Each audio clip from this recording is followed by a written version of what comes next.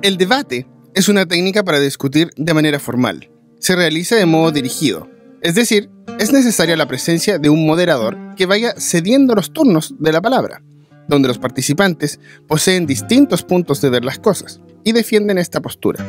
Esta técnica corresponde a un tipo de discurso oral, donde las personas que mencionamos anteriormente se agrupan en dos bandos que tienen una posición opuesta entre ellos ante el tema a debatir.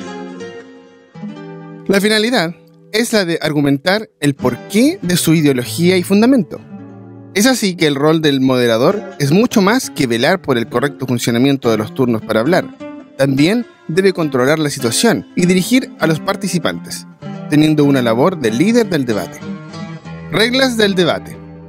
Los participantes deben hacer intervenciones breves y no monopolizar el asunto.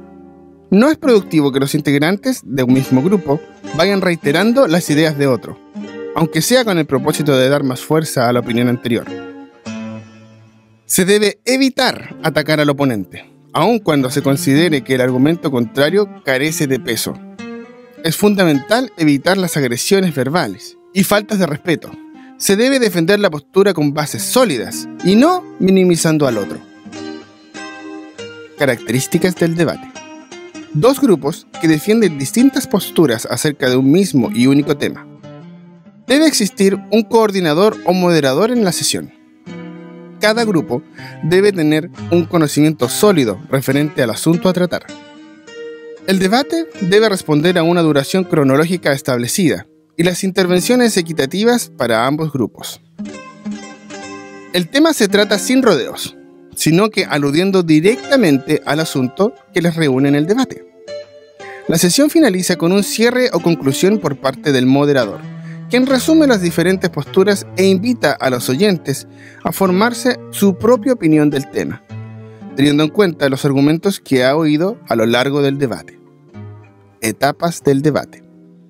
En ocasiones, el debate se realiza a modo de prueba entre equipos, donde se halla la presencia de un jurado que evalúa el desempeño de cada grupo. Cuando esto ocurre, hay un conjunto de pasos, fases o etapas que se deben tener en consideración. Fase argumentativa.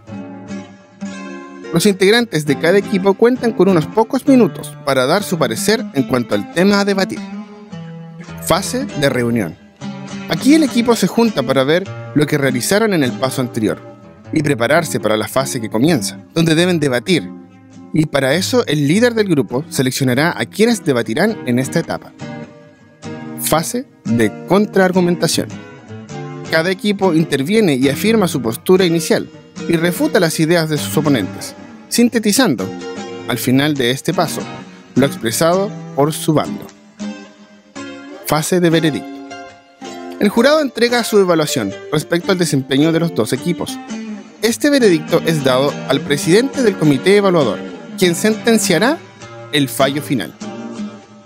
Es imprescindible no olvidar que el debate es una instancia de polémica o controversia y que los fundamentos de las posturas deben ser sólidos y claros, con un vasto conocimiento del punto de vista o idea a defender. Pues de lo contrario, el debate pierde fuerza, peso e interés. Muy bien amigos, esta animación nos dejó muy claro los conceptos y el modo de funcionamiento que debemos tener en un debate siempre manteniendo el respeto por el grupo contrario. Recordemos que somos seres pensantes y que podemos expresarnos de buena manera sin insultos y utilizando nuestras capacidades para transmitir nuestra forma de pensar o de ver el mundo. Ahora amigos, los dejo porque debo ir a un debate con Vito y el profesor Stein sobre quién se come más rápido un churrasco palta. Hasta la próxima teleclases amigos. Recuerden ser respetuosos y responsables en clases.